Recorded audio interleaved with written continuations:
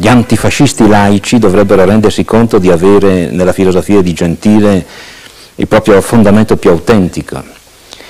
Eh, Gentile ha inteso dire al fascismo che cosa mm, sarebbe dovuta essere l'essenza dell'azione fascista.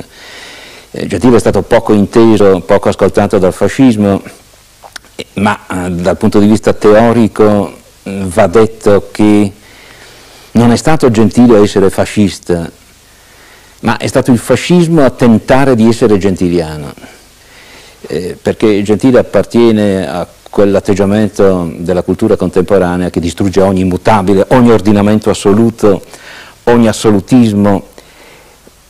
Mm, lo si vede anche nel modo in cui mm, Gentile ha preso posizione rispetto ai patti lateranensi, cioè ostile alla versione che ne ha dato Mussolini, che prevedeva eh, l'estensione dell'educazione religiosa a, tutte, a, tutta la scuola media superiore.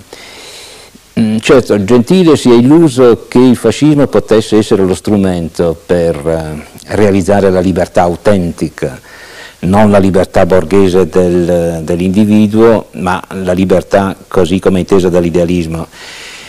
Eh, si è illuso e non si è reso conto che le forme caduche che egli vedeva nel fascismo sono rimaste attaccate a lui e alla sua persona, così come mm, potremmo dire eh, restano attaccate al ramo eh, le foglie secche.